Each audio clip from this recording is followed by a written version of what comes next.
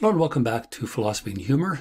And this week we're going to start the two part section, Module 12 Laughter and the Limits of Understanding.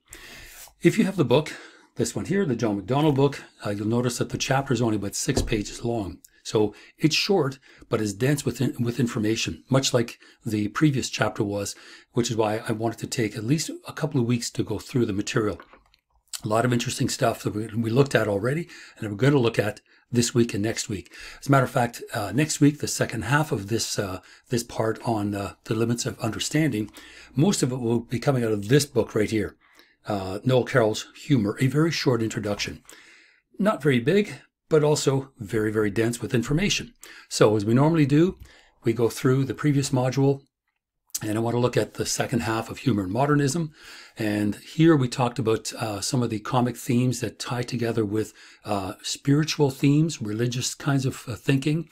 And in particular, this idea of unworlding, right?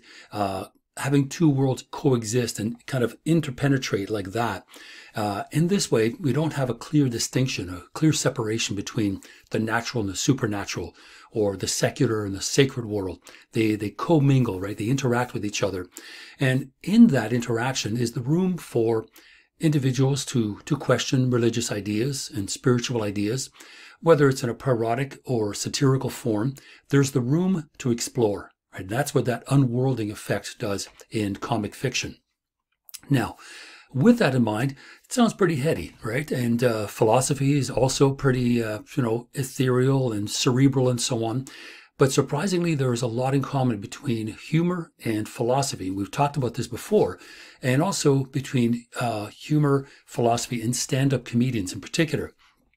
And the parallels between the two fairly straightforward. Uh, always using imaginary characters and talking about uh, situations that may or may not have occurred. Uh, and if they have, they're probably stretched a little bit. Uh, the truth factor may be stretched maybe to the limit, but for comedic effect. Uh, everyday experience uh, is typically the content of most stand up routines. there's a kind of detached, almost anthropological view of the world that's filtered through this very humorous lens uh, shifts in perspective where the stand-up comedian can adopt different characters, adopt different voices, different accents, different sort of facial characteristics. And so it is a kind of one person show and the comedian can talk and speak philosophically uh, about the world but always for a kind of humorous effect. Another way they do it is the the typical what if format right? You know what if animals could talk and what if whatever and so what happens is we can explore the world and we explore it humorously. And often there's a kind of sugar coated pill that goes along with it. And by that I mean there could be lessons to be learned from the comedian as we listen to the routine. Uh, because typically, uh, whenever you parody something, you care about it. So you want us to you want us to laugh, but you also want us to question uh, the comedian. That is, they would like us to question our value system, right? Is this worth considering? Is this worth believing in? And if it reaffirms your your uh, you know belief system, your morals, your ethics, great. If it makes you question them and walk away, that may be a good thing because it could be based on prejudices and biases that we have, which are often difficult to identify because they're kind of built into who we are, right? We don't see them until someone points them out. So if we can do that, we also reserve the right to challenge authority, which is probably the greatest gift that stand up comedians have. Uh, they're kind of like the court jester uh, that is allowed to make fun of the king. Well, if anyone else were to do this, you'd lose your head, literally. So these kinds of things we need to think about when we are looking at this comparison. Uh, not a not a contrast, but in fact a comparison. How similar the two of them are: stand-up comedy and philosophy. And people like Lenny Bruce, uh, Bill Hicks, they went after the institutions of society, in particular religious institutions. And it's not as if they were not, uh, or they were atheists. They were not big fans of hypocrisy. And that's really what they're what they're going after. Hypocrisy of any kind. And you can find it in politics. You can find it in, you know, everyday activities, people lying, you know, behind your back and, and talking to your face uh, exactly the opposite. That, that's hypocritical. Certainly one of the links between all three, Lenny Bruce, Bill Hicks, and Russell Brand, is the fact that they do talk about religious issues. And that's typically not somewhere you would find, right, the stand up routine where you would find this kind of discussion, but it's worth considering. And with Russell Brand, uh, he speaks of, of spiritual matters, but it in a way that we're not quite sure whether we should be only laughing at it or laughing and thinking at the same time. And I would kind of hazard a guess it's the second one, right?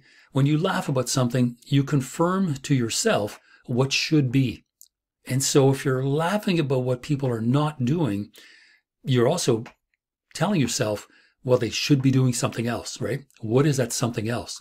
Uh, whether it is to think spiritually, you know, uh, think in a kind of connected sort of way.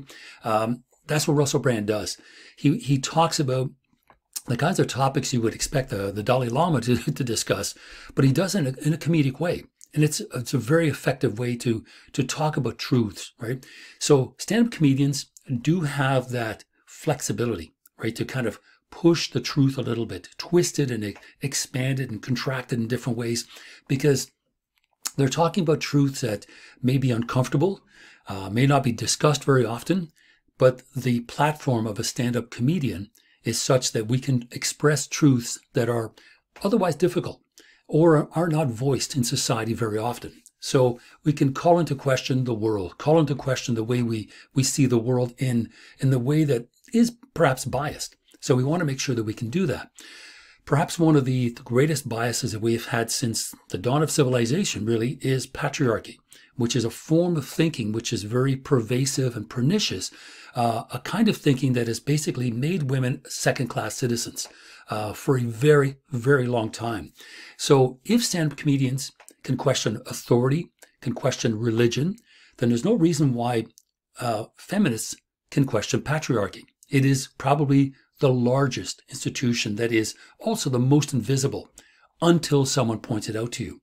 So Hélène Cixous and other French uh, feminists they're not necessarily humorists, they're not stand up comedians, they are writers, but they are writers uh, who are very, very aware of how language works and how language is fundamental to our identity. Not only the way in which we connect with each other, with ourselves, right? Our inner voices, our thoughts, um, our external reality. We, we connect to the world by de- describing it and discussing it with others, confirming it to ourselves.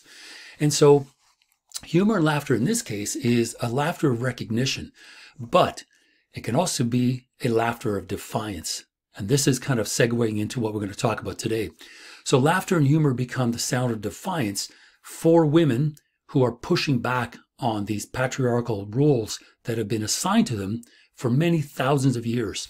And by turning around and pointing it out to us, uh, to some people, maybe seeing something for the first time. And in, in the same way as Bill Hicks and Russell Brand and Lenny Bruce talked about religion in unique kind of ways, there are thinkers, and if, certainly there are lots of female stand-up comedians that kind of do the same thing regarding patriarchy.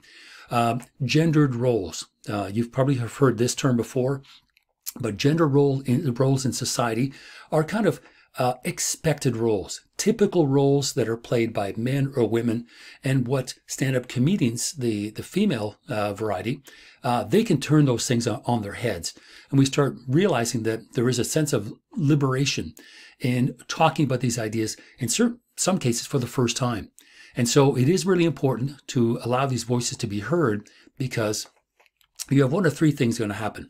There could be a shred of of truth in that one statement and we kind of bring it out into the open and, and we test it. So if it confirms that the status quo as being correct, that idea is considered foolish. But if we are able to think about it and change our ways, then it is not foolish. Maybe it's worth hearing in the first place. So that's kind of how we're going to segue into the last two uh, sections, well, two parts of the last module. And here we're talking about the limits of meaning. Uh, wow, it kind of sounds heavy duty. And it can be because uh, these are people, these philosophers, uh, we're talking grad school stuff here, but what I want to do is introduce you to at least the ideas. Now, we're not going to go down the rabbit hole with Jean Luc Nancy or Derrida and some of these people, but let's look at how these few ideas that they present kind of marry up really nicely with what we've been talking about in terms of humor and language. Okay, So one thing uh, postmodernism has taught us is that laughter represents the limits, if not the absence of meaning. So what is postmodernism? It's uh, self-reflection. Uh, everything is relative. There are no authority figures. Uh, anything goes, right? High and low culture mix all together. So if we are laughing at it and we're laughing at the absurdity of it, we may also be laughing at the fact that these new sort of combinations lack meaning beyond just their immediate reality. Uh, if we're going to combine high and low together, does it mean anything more than just simply the combination? Perhaps it does, perhaps not. It depends. But here, when we were talking about uh, postmodernism and laughter, laughter kind of represents the degree to which we have to let go and say, this doesn't make any sense, but it's somehow the way we live. And this is kind of uh, what we're going to look at sort of very briefly here. So hopefully, uh, bear with me. Um, it's really interesting. And if you ever, if you get to grad school, you can deep dive into this stuff. Fascinating, at least for me. Hopefully it will be for you. Okay. So let's kind of pick it apart here. So Jean-Luc Nancy, this is the gentleman you see here. He is using laughter as a way to respond to this very important philosophical idea that Jacques Derrida, that we'll see in the next slide, presented to the world in the 19, let's say the late 60s, early 70s.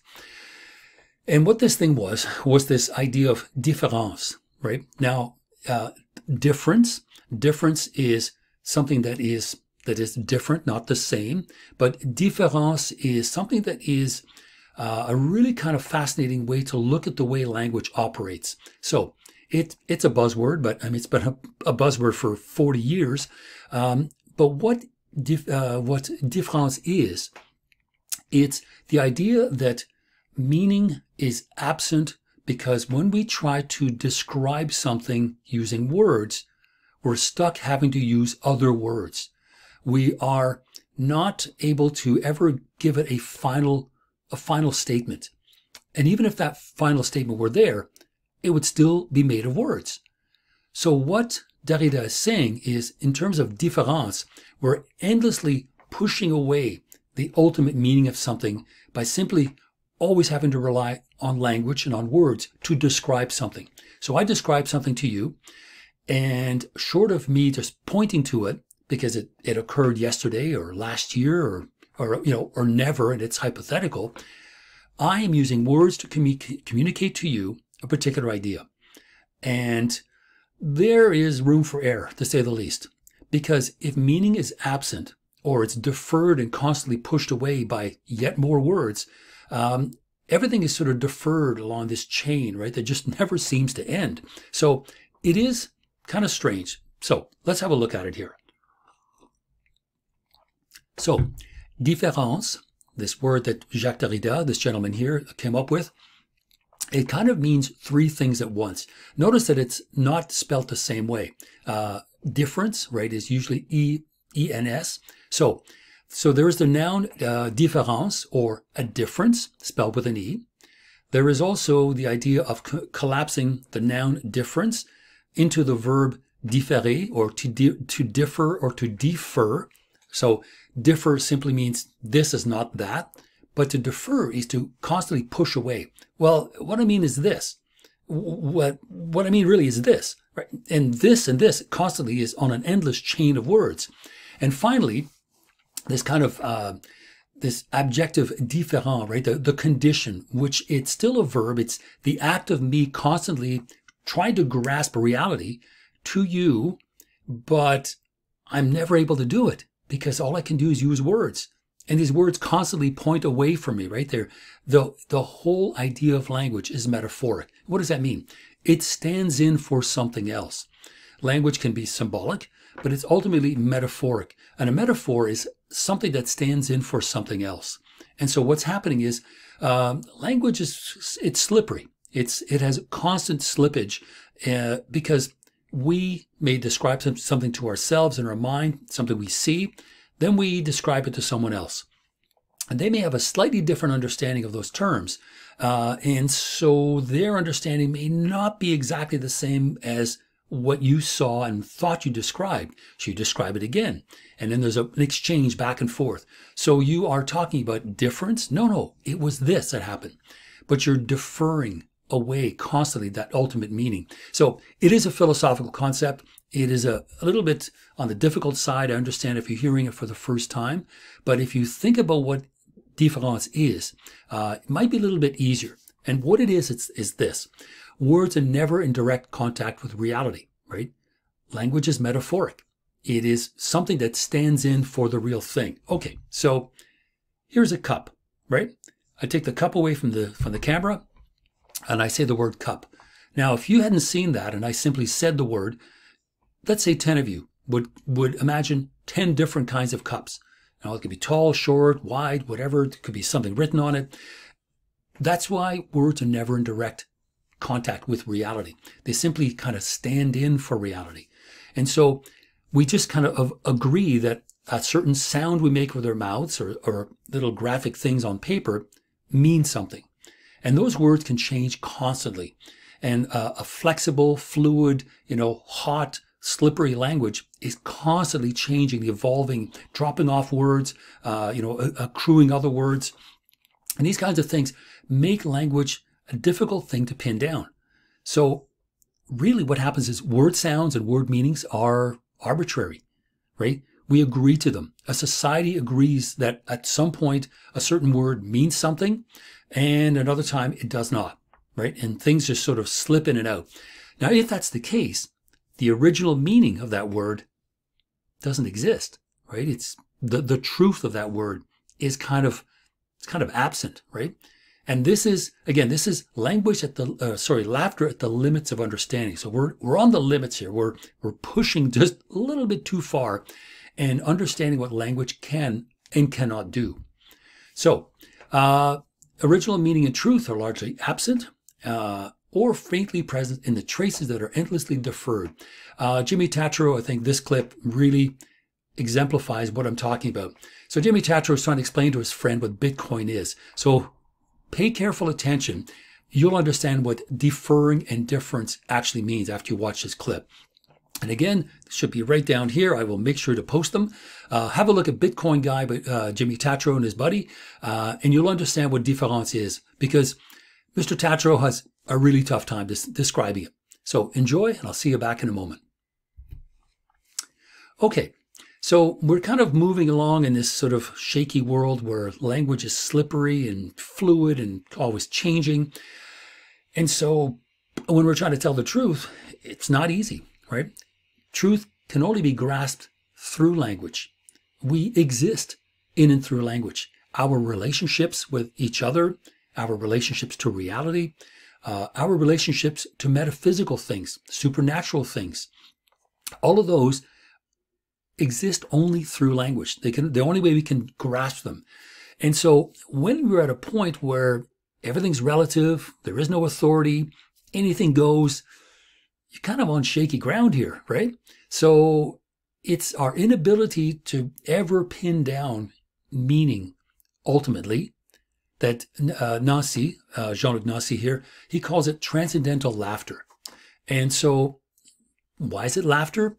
Well, because it's a kind of like, oh, well, that's really all it is. That's really all transcendental laughter is. Um, no, it's the world is not made of black, white, one, two, up, down, you know, um, these what are called binary oppositions, ones and zeros, right? If you're a computer person, the world isn't ones and zeros. It's lots of everything else. So there are lots and lots of indeterminacies, right? Um, uh, you know, sort of indefined, uh, ephemeral, transitory things that all kind of come in our purview, right? Back and forth. And if things are indeterminate and we have difficulty expressing the final meaning of something, do we go mad or do we just laugh? Well, Nancy says, we'll just laugh. Derrida's idea is fine. This this différance thing, you know, endlessly deferring meaning down this long chain. Um, is that going to drive you crazy? It could. But really, all we should do is simply laugh. We just laugh at it, say, you know, that's it. It just just escaped. it just flew away. And so, transcendental laughter is a laughter that simply shrugs its shoulders and says, "Well, it's the best I can do. right? Uh, this is what I think I'm trying to say. So, transcendental laughter is the knowledge of a condition of possibility, which gives nothing to know. There's nothing comic about it. Uh, it's, it's neither nonsense nor irony. This laugh does not laugh at anything. It laughs at nothing, for nothing. So it laughs at nothing in the sense that indeterminacy and vagueness and that endless deferral of words, you know, as we try to explain one word using another word. I mean, think of explain to someone the color blue. How could you do that without using words? The color red, any color for that matter. So if that is the, the case, uh, and if you want to get into an argument about that, say, well, it's really easy. Two people, both of you describe the color blue. Guarantee you're going to have two different colors, two different shades at least. And I don't know if men can see taupe. I don't think men wear anything that's made of taupe. Um, we just can't see it. We just go kind of a browny beige. Oh, it's taupe. Whatever. But that's what I mean. Transcendental laughter is a laughter that that really sort of joyously says, I'm laughing at nothing. I, I can't come up with any other way to describe it. And those are the limits, right? The limits of meaning. And the limits sound like laughter because we're we're at the abyss, right? We can't go any further because we're going to simply just keep using more and more words. So, if that's the case, um, and we have no authority figures, uh, we have no sort of other voice we can turn to, because remember, right, if somebody comes along and says, I have the answers, we're supposed to back off, right? Because we're supposed to question authority.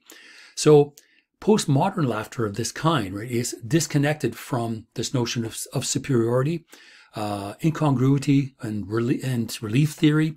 It's a it's a different kind of thing, and it is you could look you could say it is tragic because it is the inability to ever ultimately mean what you what you say and say what you mean. Um, that's almost a kind of a psychological condition because it's true. Many of the problems that uh, we have in our lives stem from trying to say what we mean and mean what we say. And that's maybe another way to, to kind of describe what I've just been trying to, trying to describe. Right here I am trying to describe to you in words that aren't exactly the same.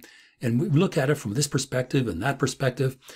And so there is a kind of tragic sort of center in this attempt to, to create meaning, to use words to talk about other words, because really that we're in a kind of hall of mirrors, right? Everything, we're in this bubble that we are trying to get out of and the okay so that's my phone i'm to ignore it anyway um, so postmodernism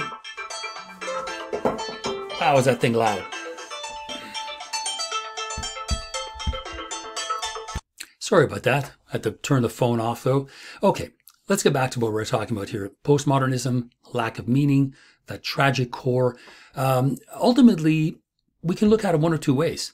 We can be very sad about it and think that it's a tragedy. Or, because this is not a philosophy class, but a humor class, we can just embrace it, right? We laugh. We laugh at the absurdity of not being able to describe what, or to say what we mean and mean what we say. So it's not a tragedy. It's just simply a way of looking at the world. So that is essentially sort of the idea behind all of these things. Now, um, there is sure that tragic core, and we listen and we try to make sense of what people are saying. Uh, in in this particular clip, and uh, neuropath- uh, neuropathetic quesadillas. This is uh, this is a crew that makes these very funny videos called "You Suck at Cooking." If you like this one, uh, certainly go to. God, it sounds like I'm running a YouTube channel, but uh, have a look at some of the other ones. They are quite silly and ridiculous, but they, to me, to my mind, really play with the absurdity of language. They, in this case, trying to make uh, quesadillas uh, and just trying to follow the recipe is going to be kind of difficult, but certainly it is literally at the limits of what you could do to prepare a meal. So have a look at our, uh, our naturopathic quesadillas, and we'll see you back in a moment. Okay, see what I mean? So quite insane, quite ridiculous, and quite absurd, but we're laughing. We're, we're, just literally throwing up our hands up going, okay, it is what it is. Okay, so we've talked up to this point, uh, the first half of the course, we talked about superiority theory, incongruity, relief theory, play theory a few weeks ago. And one of the theories that comes out of, uh, in this case, it would be the modernist period, right? The, of modernity, which is kind of a period that starts more or less around the 1850s. And one of the ideas that comes out of that period of writing, uh, because Baudelaire would have been writing in the 1860s, uh, Baudelaire presents to us a new idea that we can consider in this context of absurdity and unable to, to grasp meaning, meaning using language. And what Baudelaire is presenting to us is what he calls the inferiority theory of humor. And that's a rather interesting one because, okay, 1855, so it was pretty close. So, in the essence of laughter, Baudelaire uh, gives us this idea of laughter, which is, it aligns very well with Plato. And it's perhaps what Plato should have called his superiority theory, because Baudelaire calls it for what it is. So, as a poet and a gifted writer, uh, what Baudelaire does is identifies really what is at heart in the superiority theory, which is a kind of mortal and moral inferiority, right? It doesn't, it's not superior at all. And he says, laughter is satanic. So pretty heavy. It's pretty, you know, an arrogant expression on our part of our alleged superiority, right? Over animals, over each other. Uh, we, you know, look at ourselves as kind of rugged individuals and lighting up for the territory. And, you know, we decide to create meaning for ourselves. And ultimately, when we laugh at others, uh, Baudelaire thinks there's a degree of sort of satanic uh, or satanic quality to it. And what he's really referring to is the fact that how dare we, right? How dare we think that we are superior? Uh, and it comes from you know an idea that uh, relates very early on to the fall, uh, the fall from grace of man, uh, you know, being uh, ejected from the, the Garden of Eden. Uh, and these are sort of biblical stories, which is why Baudelaire says laughter is satanic. Notice it doesn't say evil says satanic, right? The idea of that Satan would do this. So there is in Baudelaire's idea um, the fact that when we think we are superior, we're in fact inferior, right? We're laughing to compensate. We're laughing to make up for these shortcomings, you know, that we think we have. We think we are superior, but no, we're, we're not. So Baudelaire really kind of identifies what is at the heart of Plato's superiority theory by saying, no, it's us being satanic. So he says, laughter, they say, comes from superiority. It should not be surprising or surprised if on making this discovery he had burst out laughing himself at the thought of his own superiority. Therefore, he should have said, laughter comes from the idea of one's own superiority, a satanic idea, if there ever was one. And what pride and delusion. So we are deluding ourselves in thinking that we are somehow superior to another person when we laugh at them. Now, it works only in terms of the superiority theory, which is why he calls it the inferiority uh, theory. But I think it, it's a sound one because it really describes what is at the heart of Plato's idea. And so, what Plato was talking about in ancient Athens, not in the 1850s in France, was this notion of hubris. And hubris is basically pride, right? Just pure human pride. And when we are disp- displaying this this hubris, we're often do, doing it through superiority and laughter, right? We're doing it through laughing at other people, and that's why Baudelaire looks at it as somehow being diabolical. So, what both of them are saying ultimately, because they are kind of saying the same thing, that there is a degree of hubris, a degree of of, vain, vanity and pride in, in us when we try to laugh in this way if we are laughing at absurdity and incongruity, that's different. But superior, superiority forms of laughter are really that. They're, they're, they're more satanic than really anything else. So, speaking of satanic, uh, Donald Trump's stand-up comedy special. It's about a minute long, if you can imagine. Uh, it's kind of a good, you know, it's a good example of what hubris is all about. The degree of pride. I mean, this guy is suffering from malignant narcissism. That is well past pride. But he is a perfect example of what would be considered the inferiority theory of all people. So we have in uh, Baudelaire's inferiority and Plato's superiority theories the same idea, the notion of hubris that uh, that people have And hubris really for, uh, for Baudelaire is a kind of mental deficiency, right? How dare you? So have a look at that. It's about a minute or so long, and we'll see you back in a moment. Okay. So humor is not always a good thing. It may be the product, uh, Baudelaire says, of a devilish mind. Uh, and if that is the case, if laughter is satanic, that it does connect with some of the ideas that we've raised, especially in the humor and ethics part of our, uh, our I was going to say our program, of our uh, modules and our slides.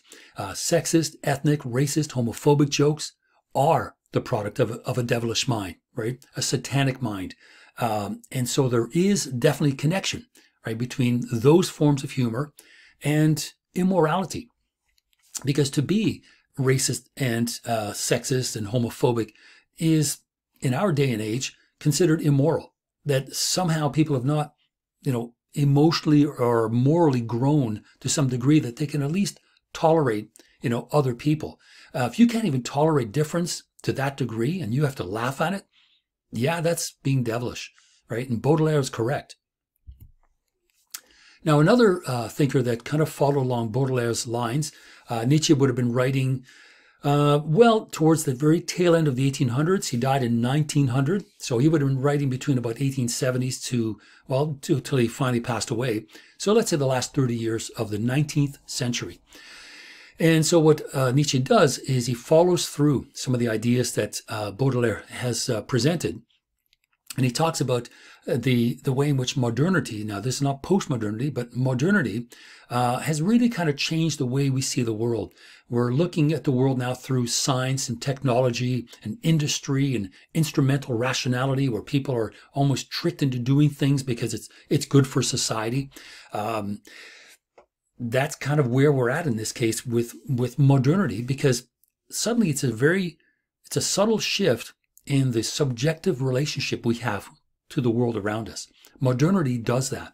And what's happening all of a sudden is we start thinking not in terms of human behavior, but in terms of utility and efficiency. And suddenly people now are are just not resting. They're they're wasting their time. They're they're being lazy, right? That's a, that's what modernity does. It subtly shifts our attentions away from what people are doing to kind of labeling what they're doing.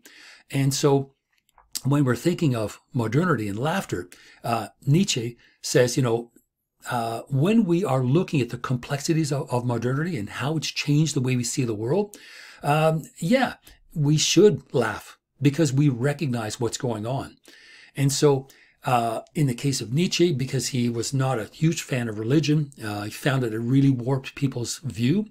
Uh, he would ridicule Christianity and its moral rules for a whole range of reasons. But what he was doing was not he was not uh, creating a parody because he cared about it. He was calling attention to it. That like modernity, people filter the world through a different lens. He says through religion, we're kind of doing the same thing, right? We're not seeing people for who they really are and accept them for who they really are. Now, with all of this, uh, Nietzsche still believed that life was a struggle. Uh, things were not always great. And this should kind of sound familiar. This should sound like Schopenhauer. Remember him from a few weeks ago and Kierkegaard.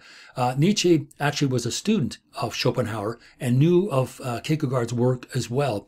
So that's why he too looked at the world as a kind of a constant struggle. And so as we exist and we try to be and be the best person that we can be, um, well, you know, sometimes it's it's difficult. And just like Jean Luc Nancy asks us to simply shrug our shoulders and laugh and just go, it's the best I can do. Well, here Nietzsche is kind of implying the same sort of thing that we should consider that maybe, you know, we should simply be joyful in what we have, right? In being human beings, having drives, desires, uh, you know, goals in mind. So if we can laugh at ourselves it is often the first step towards becoming not only self-conscious of ourselves, but conscious of what we really want, right? Uh, we're not going to settle for just this. There's got to be something better. And so what Nietzsche does is he allows us to recognize that, yes, things may be a struggle, but sometimes those struggles are worthwhile. Some are worth overcoming simply because you, it will take you to a better place. right? Um, that hard work will pay off. And when it pays off, it's going to be worthwhile. So life, yes, is a series of struggles. Um, and when we laugh at it, right, it is a corrective. It is part of our awareness, our new awareness as to what's going on. It's a first step towards a kind of self consciousness of who we are, our place in the world. And this clip here, uh, John Mulaney, uh, coming from his, uh, I think it's a comedy special, uh, Comeback Kid. Um, again, maybe not on the degree of Nietzsche and, you know, um, metaphysical struggles with the universe, but something far simpler. But that's what humorists do, right? They take a small thing and they really explore it. So John Mulaney, um, with the idea of peace be with you, which is a saying that people often say to each other in church.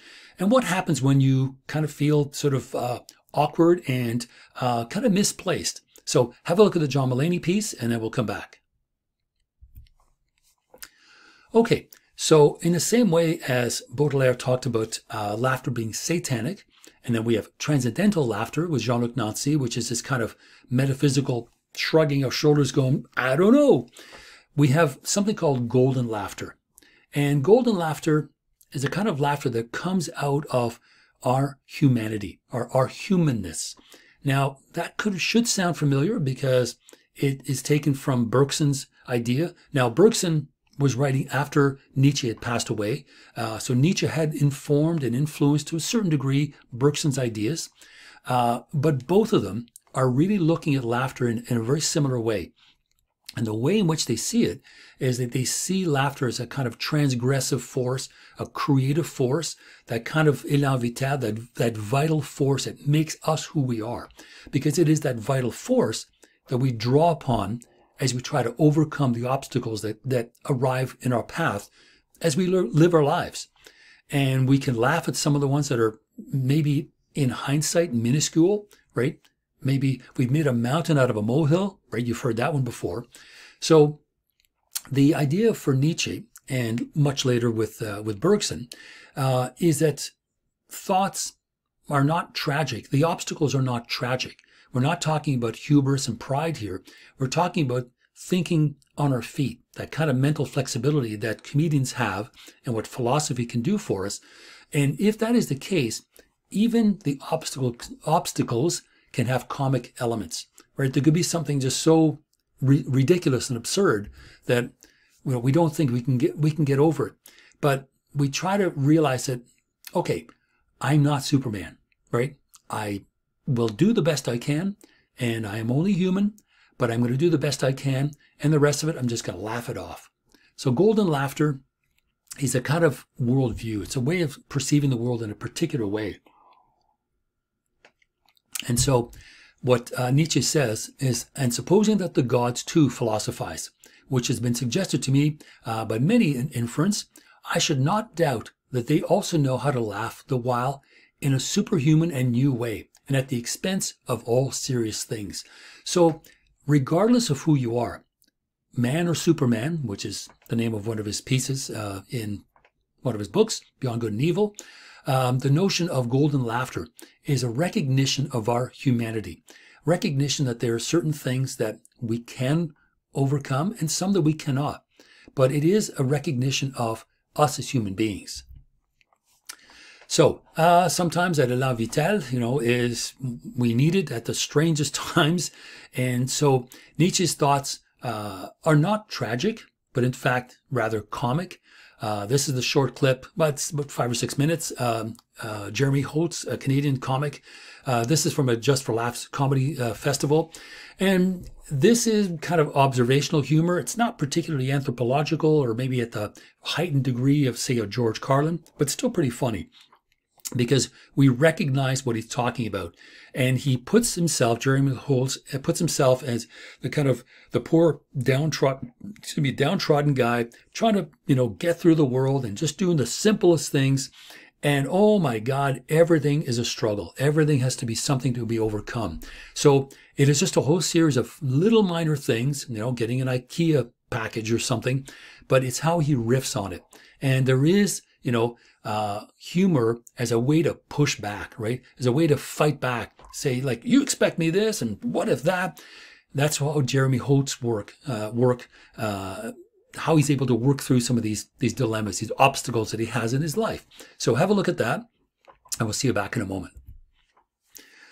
Okay, so Nietzsche looks at laughter as part of just who we are.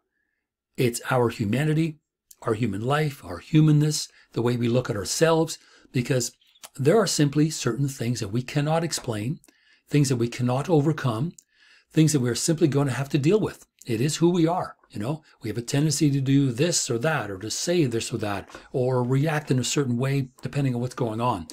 But it really is embracing our humanness, right? And that's a kind of Henri Bergson sort of thing, that élan vital, because Nietzsche doesn't call it that, but there is something that is uh, really similar in both of those thoughts. So, uh, golden laughter and that élan vital kind of work really well together because they are about our ability to be creative around an obstacle as we kind of work our way through it, or if we're lucky, just around it. But it is what we would do as human beings, not as robots, not as machines, not as animals, but as human beings, because we are self conscious human beings. We are aware of what we are doing as we try to overcome this obstacle. So here, uh, laughter becomes a kind of acknowledgement, you know, of life. It's joyous, it's golden, right? It's golden in the sense that it is an affirmation of life, just like Bergson's Henri uh, Vital, sorry. Um, and this, you know, this refusal to, to just to bow down, to, to buckle down and say, I can't do it. Just keep trying because overcoming these obstacles is worthwhile for Nietzsche at least. So laughter becomes a symbol of our desire to continue to live. So it's not really nihilistic. It's not depressive. It isn't like, oh my God, this is the end of the world. I can't do this anymore. I'm done. Quite the opposite. It's a laughter going, you know, let's just see what we can do. Let, let's see what, what is the best we can come up with. Okay. So Nietzsche, if you can imagine this kind of laughter, especially if there's something that's really difficult to, uh, to overcome, depending on what, what may be, uh, it also includes uh, like laughing at authority figures. And that's the postmodern part of it, which is quite remarkable. Now, uh, Hannah uh, Arendt, uh, political philosopher, the woman you see here, uh, she has written, the greatest enemy of authority is contempt, and the surest way to undermine it is laughter. So there it is. And she was writing, she would have written that uh, in about the 1940s. So certainly 40 years after uh, Nietzsche was no, no longer, but there's a similar idea. We assert our humanity against all kinds of obstacles, including authority figures. And we assert our humanity and our humanness by sometimes the only weapon we have, our laughter. That's really what we can do. And when uh, people laugh at authority figures, yeah, kind of get uncomfortable. But for us, Oh, that feels great. It's just, it's quite nice. So, I know these uh, hopefully don't sound too old, but if you can remember, a lot has happened in the last few years. But at one point, uh, Donald Trump went to went to the United Nations to do the keynote spe- uh, speech. And if you can remember, um, it didn't go so well. So this is from uh, Stephen Colbert about a year ago. The world unites in laughing at Trump. And remember what Hannah Arendt says the greatest enemy of authority is contempt, and the surest way to undermine it is laughter. And here we have other people who are also uh, uh, figures of authority, laughing as at the biggest one, or the one who thinks he is the biggest. That's what makes it funnier. That's where that contempt is. So have a look at that. Uh, it's only a few minutes long, and uh, see you back in a moment. Um, Simon Critchley, uh, who is my age, 61, um, he also thinks along the same way as, as Nietzsche. It's an affirmative or an affirmation of our humanity, but like Jean-Luc, uh, Jean-Luc Nancy, it's also an affirmation of the fact that human understanding is finite, is it has limits. There are only certain things we can know. And that doesn't mean stop reading after grade 12. And no, please carry on. But there are limits to human the human understanding. Because again, we interact with reality only through language. That's all we have. So Critchley thinks that laughter is an acknowledgement uh, of the limits that we have as people, limits that we have to, to the amount of knowledge that we have, that the world itself is limited in what we can know. And all of these people, whether it's Nazi uh, or Nietzsche and Critchley here, the the laughter we're talking about is the same sort of, you know, it's the same type, right? We're, we're laughing at the limits. We're not stressing over it. We're not uh, we're not anxious over it. We're simply laughing at this is the best we can do. And if in the postmodern world there are no figures of authority and we are essentially on our own, right? Because we've got to kind of make it up as we go along and make sense of it ourselves. The world is limited in terms of who we can turn to. And so it does put us back in our place, but we can do it in a way that puts a smile on our face, right? And we can we can laugh at the fact that there is only so much we can know. And trust me, the more you read, the more you realize how little you know. And that's, I mean, Socrates said that in the year, well, 398 BC. so have we learned our lesson? Kind of not. We just keep on reading and learning. But there is a limit. And the limit now is not looked at seriously or tragically. It's looked at humorously. It's looked at this is this is who we are. This is who we are as as human beings. As we get older, there's only so much room in our brain, and let's face it, in my case, the more I read, the more something else has got to leave, right? So that it can fit in my brain for a while. And then when somebody asks me a question about a, a book I haven't cracked open in 25 years, I'm kind of stuck. like, uh, hold on a moment. I run off to my library to get the book. But the point is, I know that there's only a, a limit to the amount of information that I can store in my brain at any given time. Is it tragic? It could be. But do I laugh at it? Sure. And what I do is I tell someone the truth. Yeah, I know who that is. I haven't looked at the book in a quarter of a century, but if you can hold on a moment, I'll go get it. And you laugh and you, you move on. So are we lowly and, and mortal? Absolutely. Because we're not robots. We're not giant brains that, you know, need to be fed on a daily basis. We're just human beings. So with Critchley, uh, it is it is Nietzsche in the sense that it is kind of shrugging our shoulders, but it is not a kind of defiance because with Nietzsche, there is that degree of defiance in, in his work because he wishes to have us laugh going that, aha, you know, I will conquer this. Critchley is kind of bringing us kind of back down to earth a little bit. He says, okay, look, you know, our human condition, eh, we're, we're mortals. We wear out, you know, we be, we get, we're, we, are we are diseased at times and we eventually die. And you can look at that, that, you know, as a metaphysical tragedy or say, or say, okay, it is what it is. Let's move on. Hey, let, let's get on with it. So for Critchley, laughter, which is really more an awareness, a self-consciousness of our state of, you know, our condition in, in the world, it's an acceptance of life. That's really what it is. It's an acceptance that, you know, life is the way it is. Uh, chaos is never far away. Uh, and if we can be aware of that, we can kind of sort of maneuver through the world a little bit more carefully, uh, settle down on the obstacles that are worth fighting, right? The wor- the ones that are worth overcoming, and some of them just aren't. Some of them just are not worth fighting for. So, if we can keep that kind of mental flexibility, we can laugh at some of the issues that would otherwise, in a different context, be somewhat of a tragedy. You know, we grow old and die. Oh no. Well, yeah, if you sit around and just wait that wait for that to happen, that's, that is tragic. But if you live your life and do things and meet people and go places, that's much better. So the laughter is is the limits, the limits of our of our life, the limits of our understanding, uh, the limits of you know what we can do, right? The the skills we can learn, uh, the careers we can have. It could be tragic, but it is not. And it is not because we choose to laugh at it instead.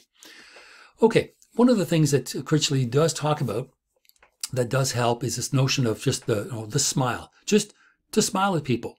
Uh, I know we've not been in school now for quite some time, but you have to admit, when you're just walking down the hallway and you might not have had the best day ever, you know, best day in a, in a while, and you look up and you just kind of lock eyes with someone for just, just a few seconds and they smile. And what do you typically do? You smile back. It's, it's a nice feeling. It's an acknowledgement that there is someone else out there in the world. It isn't just you. but there are other people who maybe feel the same way. And the two of you lock eyes for a few seconds and you smile. And it's a kind of silent acknowledgement. I see you and I and I I'm aware of your presence. And if it's just a smile, great. And it's modest, it's appropriate. I mean, you may stop and talk to someone. And especially these days, I don't know how often it's happened with you, uh, but uh, I just this morning uh, mistakenly called out someone, "Hey, Richard!" And the guy turned and looked, uh, "Who?" And I looked at him, and oh, you're you're not Richard. Same voice, same height, same sort of. Uh, it was unbelievable. I was surprised it was it wasn't him. So we made a joke about it. We both went on our way. End of discussion. But sometimes just a smile. It's just an acknowledgement of your humanity by another person. And so, you know, we can rejoice in our wretchedness. Sounds like we're, you know, serfs that are covered in mud. Hopefully that's not your life, but just our human existence. To smile to another person really goes a long way. It presents to the other that we are human. It presents to the other our acknowledgement that we see them. And that goes a long way to just be acknowledged, you know, as a human being. Uh, it, it matters. It helps. It feels good. And so that's what Critchley is talking about when he talks about the smile and how it relates to humor and laughter, that it doesn't generate a, la- a laugh necessarily, but a smile is sometimes a, an appropriate response to things that are going on. Now, in terms of smiling, um, I don't know if you know Ryan Hamilton. Uh, this is someone who, you know, really talks about just life and uh, along those same lines as Jeremy Hotz, um, but also uses his own self. He is because he does have a really interesting face, uh, kind of looks like a demented sort of howdy doody, and he's made jokes about it, and which is why I wanted to put this here because yes, a smile may be modest and appropriate, uh, but he does call attention to the fact that when he smiles, he might sort of scare people. In fact, he opens his routine with exactly that. Uh, so we do acknowledge one another through laughter and smiling, but mostly smiling because it is quiet and, and doesn't even require words. Just, I acknowledge you. And so Ryan Hamilton kind of plays with that and just kind of talks about our, you know, our human frailties, which is again a typical stand up thing, but uh, really has fun with it. So have a look at this clip and then I'll see you back in a moment. So the first, last person we're going to look at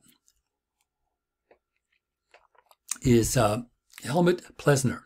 And Helmut Plessner talks about, uh, again, this should sound like people we've visited before, uh, Bergson for sure, that laughter is at the core of the human experience. It is who we are.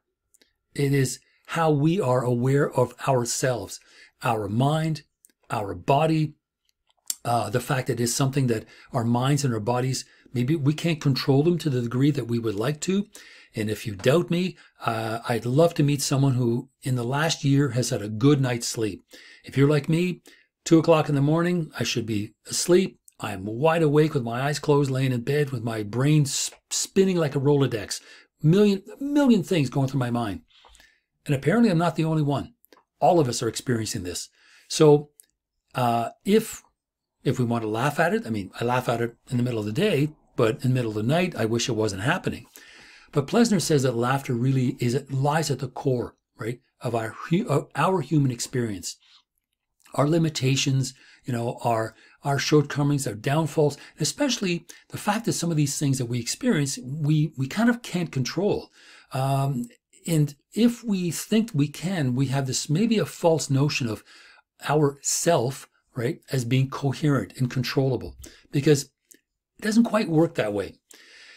So when we think about our body and the way that it responds to various things, uh, our body can often be at the mercy of our mind. Our mind can make us think of all sorts of things. It can trick us into thinking that there's something going on when there when there isn't.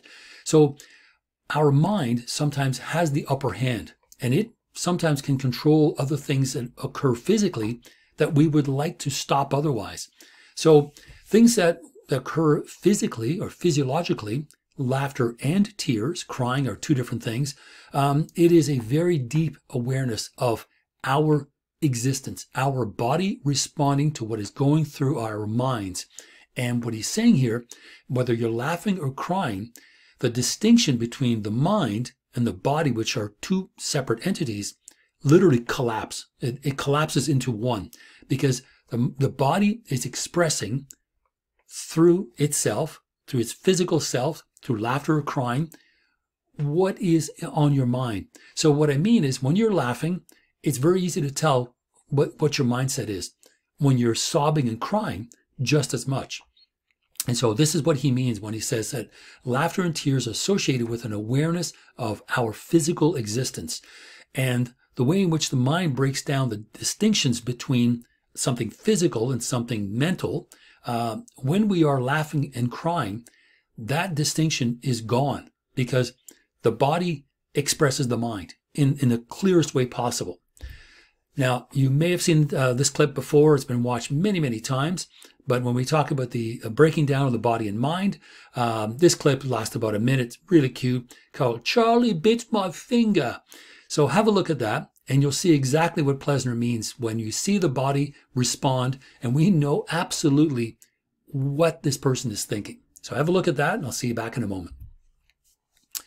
Okay, laughter uh, for Plessner is an intellectual activity.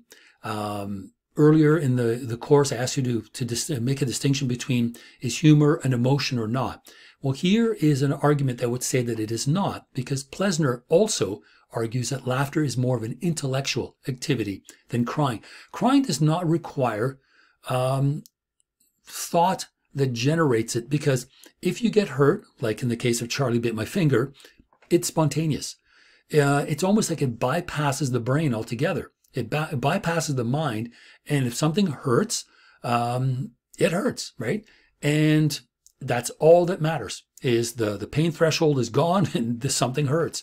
So what is happening here is laughter may be an intellectual activity that's still expressed through the body as laughter, but crying seems to short circuit that a little bit because crying is usually an emotional state of mind and it is a total emotional immersion into whatever this activity is that is causing you to weep. Uh, it could be the loss of a loved one. You could be at a funeral. Um, and your, your mind, as much as you want to not do it, your mind says, can't, sorry, I have to, I have to cry. And you do. So what happens here is just in the same way that all the other thinkers have said the same thing, that we are at the limits of, of our understanding, our limits, the limits of our control right? The limits of our control over our body, our thoughts, our expressions. Sometimes there are things that we cannot control. Now, laughter can also occur at a funeral because suddenly you start thinking of something that you wish you hadn't, but the more you stop, you try to stop thinking about it, the funnier it gets. By the same token, right, the exact opposite would be crying. Crying is a total emotional immersion of the body and mind are literally one. It, in fact, it almost, like I said, it, it short circuits that, that the mind doesn't need to think about anything. It, it is expressing on a, almost on a pure state. So that is what kind of Plessner is talking about here. So, uh, comic laughter, something we've done all of our lives. There isn't a, uh, a society that we know of, there may be somewhere, who knows, a society that is not, that has not known laughter is one that really no one knows of or has heard of. So it is very much who we are, you know, uh, who we are. So uh, how we control that comic response, whether it's just a smile to another person or listening to a comedian or a full out laugh, really, that's that's the, the, the degree of control we have over our bodies. Now, to that, I'll say one last thing. If you've ever worked a night shift, or it doesn't matter where it is, and you're you're super tired and it's 3.30 in the morning maybe 4 o'clock and your shift isn't over for another three hours and somebody starts talking about i don't know a fork. And suddenly you realize how goofy the word fork is. You just kind of start chuckling. And your friend isn't quite sure what's going on and he keeps on talking. They might be waving the fork and blah blah blah. And he's talking about the fork and it just it's the most absurd thing. But you just start laughing. And the next person to you starts laughing as well. And the next thing you know, you can't control it. You can't, I mean, literally tears are streaming down your face. Uh, it doesn't even have to be a night shift. It can be, it can be all kinds of situations where you're just kind of caught off guard, off guard and your mind is for some reason unable to process the kind of, I don't know, ordinariness of what you're talking about, and some other part of your brain kicks in, and now you've lost control. You start laughing and you can't stop laughing. You literally tears rolling down your face and you can't stifle it anymore. I'm sure you've seen lots of epic fail videos of newscasters that start laughing at something and they just lose it. They lose their shit and it's hysterical. That's what Plessner is talking about. At one point, in the same way crying is that total immersion of a physical, you know, response to something, laughter can sometimes be the same. It is a total response. You have lost control. You've lost mastery of your body. So that's essentially what I wanted to say for these slides. Uh, hopefully you've enjoyed the videos uh, and we will see each other on uh, Monday. And if you have any questions, uh, we'll talk a little bit about the last, um, the last uh, number four reflection that's going to be coming up, I believe, this coming Sunday. I'm almost done my reading. I'm going to be done by this afternoon, so you'll start seeing some marks even as early as this evening for your uh, third reflection essay. So take care, and we'll talk to you soon.